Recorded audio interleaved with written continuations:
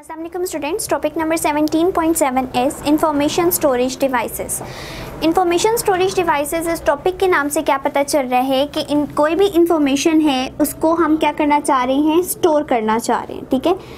Store करना चाह रहे हैं इस तरह से कि वो हमारे पास परमानेंटली भी स्टोर रहे। समटाइम हम उसको डिस्कस करेंगे एक जगह पे जहाँ पे वो परमानेंटली स्टोर नहीं है। अदरवाइज़ जो हम डेटा स्टोरेज चाह रहे हैं इंफॉर्मेशन की स्टोरेज चाह रहे हैं, वो परमानेंट यूज़ के लिए है, ठीक है? तो उस मकसद के लिए जो जो डिवाइसेस यूज़ की जाती हैं तो उनको हम इस टॉपिक में स्टडी करेंगे, ठीक है? अब हमारे पास कुछ ऐसे डिवाइसेस होते हैं जो कि कंप्यूटर के अंदर बिल्ड हुए होते हैं और उनका काम भी क्या होता है कि मेमोरी को स्टोर करते हैं। कुछ ऐसे होते हैं जो हम एक्सटर्नली उनके साथ फिट करते हैं, उनके साथ अटैच करते हैं और उनका भी मकसद क्या होता है कि डाटा को स्टोर किया जाए। अब हमारे पास दो तरह की मेमोरीज आ जाती हैं, एक आती है प्राइमरी मेमोरी एक आती है secondary memory primary memory and the second one is secondary memory अब इससे क्या पता चलता है? प्राइमरी मेमोरी यानी जो बिल्कुल स्टार्ट पे हमें इनिशियली चाहिए, ठीक है? और इनिशियली भी जो चीज़ भी होती है, हम उसको प्राइमरी कह देते हैं। अब अगर हम एक कंप्यूटर की बात कर रहे हैं तो कंप्यूटर में प्राइमरी मेमोरी क्या हो सकती है? उसकी रोम एंड उसकी रैम, ठीक है? अब रोम एंड रैम क्या है? ROM is read only memory, read only memory, ठीक है? And RAM is random access memory access memory. इनका फ़ंक्शन क्या होता है कि जो रोम है, वो रीड ओनली मेमोरी है, यानी वो डाटा को सिर्फ़ और सिर्फ़ रीड कर सकती है, उस इंस्ट्रक्शन को फॉलो कर सकती है, उसके अंदर कोई चेंजिंग्स नहीं कर सकती, उसमें कोई राइट डाउन हम नहीं कर सकते, ठीक है? तो ये रीड ओनली मेमोरी क्या होती है कि जब हम कंप्यूटर को स्टार्ट करते हैं तो हमारे पास कुछ फाइल्स ओपन हो रही होती है। लाइक अगर आपने पासवर्ड लगाया हुआ है तो वो जो विंडो आई है, जिस, वो बार आई है, जिसके अंदर आपने अपना कीवर्ड एंटर करना है अपने पासवर्ड एंटर करना है, वो क्यों आई? ठीक है? आपने सिर्फ़ एक सिंगल टाइम उसको फ़ंक्शन को सेट किया था तो अब वो हर दफ़ा ही क्यों आती है? क्यों? क्योंकि वो कंप्यूटर में वो फ़ंक्शन सेट हो चुके हैं, वो चीज़ स्टोर हो चुकी है। और वो चीज़ स्टोर किसमें हुई है? वो रोम में हुई है। रोम क्या करेगा? अब उसमें कोई चेंजिंग नहीं आप कर सकते। आप क्या कर रहे हैं? उस चीज़ को वो कंप्यूटर सिर्फ़ रीड कर रहा है और रीड करके उन इंस्ट्रक्शन को फॉलो करके जैसे कंप्यूटर स्टार्ट करते हैं तो वो तमाम फंक्शनिंग परफॉर्म करता है, ठीक है? तो कंप्यूटर स्टार्ट करना ही बेसिकली क्या है? रोम की फंक्शनिंग है। अगर हम रैम को देखें, रैम क्या है? रैंडम असेस मेमोरी है।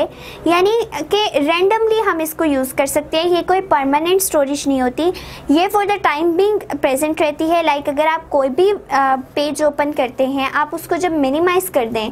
मिनिमाइज़ करने के बाद ऐसा क्यों नहीं हुआ कि वो ख़त्म हो जाए? ठीक है?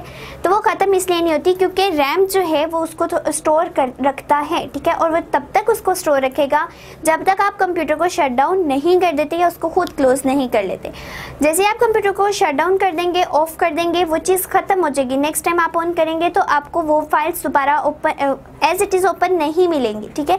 जिस तरह अगर आप कोई चीज़ डाउनलोड करते हो तो वो डाउनलोड हुई चीज़ परमानेंट हो जाती है सेव आप उसको जितनी बार भी ओपन करोगे वो वहीं पे एज इट इज़ रहेगी। लेकिन रैम में अगर आप आ, कोई भी देखें तो वो परमानेंट स्टोरेज नहीं होती वो तब तक स्टोर रहती है चीज़ जब तक आप कंप्यूटर को शट डाउन नहीं कर देते ठीक है? सो ये जो है बेसिकली ये हमारी प्राइमरी मेमोरीज हैं जो कि कंप्यूटर के अंदर ऑलरेडी प्रेजेंट है और उनका काम ये है कि जो आ, पहले एक काम ये कर रही है कि कंप्यूटर को स्टार्ट कर रही है और एक ये कर रही है कि उन फ़ंक्शन को तब तक स्टोर रख रही है जब तक कंप्यूटर को शट डाउन नहीं कर दिया जाता। इसी तरह से अगर हम सेकेंडरी मेमोरी देखें तो अगर हम किसी चीज़ को लॉन्ग टाइम पीरियड के लिए सेव करना चाह रहे हैं लॉन्ग टाइम पीरियड के लिए सेव करना चाह रहे हैं तो हम क्या करते हैं? हम सेकेंडरी मेमोरी को यूज़ कर लेते हैं, ठीक है? लेट सपोज़ अगर आप कंप्यूटर की विंडो न्यू करना चाह रहे हो, ठीक है? तो न्यू करते हैं तो बाकी अगर आपने डेस्कटॉप पे कोई डाटा रखा हुआ है डाउनलोड्स में है, कुछ कहीं और पड़ा हुआ है सी ड्राइव के अलावा तो वो क्या होगा कि वो रिमूव हो जाएगा, ठीक है?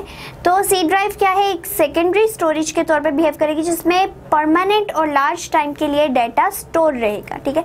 इसी तरह से सेकेंडरी में बेसिकली ज़्यादा हम किस चीज़ को डिस्कस करते हैं, जिसको हम बाहर से अटैच कर रहे होते हैं? लाइक अगर हम यू अटैच कर रहे हैं आ, कोई कैसेट है कोई डीवीडीज़ हैं सीडीज़ हैं तो वो तमाम चीज़ें क्या कर रही हैं? इन्फॉर्मेशन को स्टोर रख रही हैं और जब तक आप उनको वेस्ट नहीं करेंगे खुद से वो डाटा वेस्ट नहीं होगा वो परमानेंटली उस चीज़ में स्टोर रहेगा ठीक है? तो पहले जो हमने डिस्कस किया कि इंफॉर्मेशन स्टोरेज डिवाइसेस में क्या हमें पता होना चाहिए कि प्राइमरी मेमोरी क्या होती है और सेकेंडरी मेमोरी क्या होती है। अब फर्दर सेकेंडरी मेमोरी को हम डिस्कस करते हैं कि किस किस तरह की सेकेंडरी मेमोरी डिवाइसेस हमारे पास प्रेजेंट हैं और उनसे हम किस किस तरह काम ले सकते हैं। मोस्टली जो स्टोरेज डिवाइसेस होते हैं, उसमें डाटा को स्टोर किया जाता है मैग्नेटिक फ़ील्ड अप्लाई करके, ठीक है? मैग्नेटिज्म के फिनोमिना से इलेक्ट्रिक फ़ील्ड के फिनोमिना से तो हम उसको ब्रीफली डिस्कस करेंगे कि वो किस तरह से वर्किंग करता है। लाइक like अगर हम ऑडियो वीडियो कैसेट की बात करें, ठीक है? Audio and video cassettes. तो उसमें क्या होता है कि आपने देखा होगा कि पहले ज़माने में क्या होता था? टेप होती थी ठीक है? टेप इस तरह की बनी होती थी। दो स्पीकर्स यहाँ लगे होते थे। आ, कुछ इसी तरह से थी कि आई थिंक यहाँ पे स्पीकर्स अटैच होते थे। एंड ये स्पीकर यहाँ अटैच होता था। दो स्पीकर्स होते थे। जो ऑडियो वाले यहाँ पे दो इस तरह से जो है, बने होते थे, जिनको आप विंडोज़ टाइप जिनको आप ओपन करते थे और आप इसमें कैसेट एंटर करते थे, जिसमें इस तरह से जो आपको है, दो नज़र आ रहे होते थे और उसके ऊपर एक पूरी मैग्नेटिक टेप जो है वो लगी होती थी। अब क्या होता था इसमें? बेसिकली कि ये जो ऑडियो वीडियो कैसेट्स हैं, अभी जस्ट लाइक हम ऑडियो की बात कर लेते हैं तो इसमें अगर डाटा को एंटर किया गया है या डाटा को हमने जो है अगेन सुनना है, ठीक है तो वो काम किस तरह से परफॉर्म होगा? अब क्या होता है, ये जो टेप है बेसिकली ये मैग्नेटिक मटेरियल की बनी होती है। मैग्नेटिक मटेरियल की, ठीक है? मैग्नेटिक मटेरियल की क्या प्रॉपर्टी है कि हम उसको अगर बाहर से मैग्नेटिक फ़ील्ड अप्लाई कर दें, ठीक है? कोई ऐसा मटेरियल है जिसको हम मैग्नेटिक फ़ील्ड में रखें तो वो क्या हो जाती है? वो मैग्नेटाइज हो जाती है, ठीक है? उसके ऊपर मैग्नेटिक फ़ील्ड डिवेलप हो जाती है। तो ये क्या है कि ये एक ऐसा मटेरियल है मैग्नेटिक मटेरियल उन मटेरियल को कहते हैं जिनमें मैग्नेटाइजेशन का प्रोसेस हो सकता है, जब हम कोई मैग्नेटिक फ़ील्ड अप्लाई करते हैं। अब क्या होता है? बेसिकली इसमें एक होता है हेड ठीक है? टेप हेड कह लें या हेड टेप मोशन इसमें इस तरह का एक हेड सा बना होता है। एंड इसके एक साइड पे ये ये इस केसेट की शेप है, ठीक है? एंड सेकेंडली ये, ठीक है? अगर इस केसेट के अंदर देखा जाए, अब अगर हम इसको फिलअप करना चाह रहे हैं, यानी हम इसके ऊपर इंफॉर्मेशन को जो है, क्या करना चाह रहे हैं स्टोर करवाना चाह रहे हैं तो क्या करेंगे कि इस, क्योंकि ये टेप जो है वो मैग्नेटिक मटेरियल की है, ठीक है? अब क्या है कि जो भी साउंड हम रिकॉर्ड करवाना चाह रहे हैं, वो माइक्रोफोन से गुजरेगी, ठीक है? और माइक्रोफोन क्या करेगा? उसको इलेक्ट्रिक सिग्नल में कन्वर्ट कर देगा। इलेक्ट्रिक सिग्नल में कन्वर्ट कर देगा, ठीक है? अब क्या हो चुका है? इलेक्ट्रिक सिग्नल प्रोड्यूस हो चुके हैं। यहाँ पे एक इलेक्ट्रो ये जो हमारा हेड है, ये बेसिकली क्या है? ये इलेक्ट्रोमैग्नेट है, ठीक है? ये हेड जो है, ये क्या है? इलेक्ट्रोमैग्नेट इलेक्ट्रोमैग्नेट मीन्स कि अगर हम इसको इलेक्ट्रिसिटी प्रोवाइड करेंगे तो मैग्नेटिक फ़ील्ड प्रोड्यूस करेगा। अगर मैग्नेटिक फ़ील्ड प्रोवाइड करेंगे तो इलेक्ट्रिक फ़ील्ड प्रोड्यूस करेगा। अभी तक हमने क्या काम किया? ये हेड जो है, ये इलेक्ट्रोमैग्नेट था। इसके ऊपर कॉयल भी बाउंड हुआ है, ठीक है? इसको हमने माइक्रोफोन के थ्रू इलेक्ट्रिक सिग्नल दिए। अब electric signal mean electric field apply की गई है तो ये क्या करेगा? मैग्नेटिक फ़ील्ड प्रोड्यूस कर देगा। वो मैग्नेटिक फ़ील्ड इस मैग्नेटिक टेप के ऊपर पैटर्न बनाना शुरू कर देगी। जैसे जैसे वेरिएशन आती जाएगी साउंड सिग्नल्स के अंदर, ठीक है? लेट सपोज़ साउंड सिग्नल इस तरह हुए, इस तरह हुए उसी उसी तरह मैग्नेटिक फ़ील्ड प्रोड्यूस होगी और इस टेप के ऊपर जो है अपने पैटर्न बनाना शुरू कर देगी, ठीक है? अब ये पूरा पैटर्न चला और इसके ऊपर इंफॉर्मेशन स्टोर होगी जितनी हम करना चाह रहे थे, ठीक है? अब यहाँ तक तो स्टोरेज का काम हो गया। अगर हम इसको सुनना चाह रहे हैं तो क्या करेंगे?